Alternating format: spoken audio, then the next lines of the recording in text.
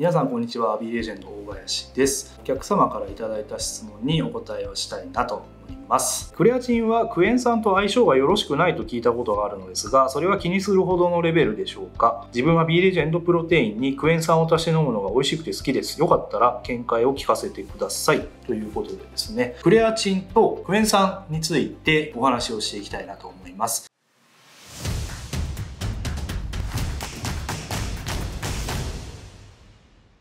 結論から言いますと、クレアチンにクエン酸を混ぜていただいて、まあ問題はないと思います。確かにですね、クレアチンモノハイドレートという、まあ一番一般的なものなんですけども、これはね、酸に弱いっていう弱点があるのは確かなんです。だからといって、そのクエン酸の酸だけでクレアチンが全く効果なくなってしまうっていうのはちょっと考えづらいです。というのは、人間がね、クレアチンを取った時って胃の中を通過するわけじゃないですか。胃の中にはめちゃくちゃ酸の強い胃酸があるわけなんですよね。胃酸の影響を受けつつも、しっかりね、クレアチンの効果を体感できる分量っていうのが、まあ推奨の、ま、5g ぐらいっていう分量となってますんで、で、まあ 5g 程度クレアチンを飲んでいただければ、クエン酸とね、一緒に飲んでいただいても、しっかり効果は体感できるんではないかなというふうに考えてますので、そこは安心してください。まあどうしてもね、気になるとか、体感が感じにくいなっていうふうに考えてる方の場合は、例えばですね、食後にクレアチンを飲んでいただくと、食べ物がね、胃の中にあって胃酸の影響が弱まるので、クレアチンが胃酸の影響をね、受けにくいっていうこともありますし、まあちょっと多めにクレアチンを取っていただくとかですね。まあそういった形で取り方を工夫していただくと、クレアチンの効果を体感しやすくなると思いますので、試してみていただければなと思います。今回はクレアチンとクエン酸についてお話をさせていただきました。確かにね、クレアチンは酸に弱いんですけども、クエン酸はまあ飲んでいただいて全然大丈夫ですよということで、まあもしね、体感しづらいなということがあれば、ちょっと取り方を工夫してくださいというお話でした。また何か聞きたいことがあれば、コメント欄に書き込んでいただければなと思います。それではまた次の動画でお会いしましょう。さよなら。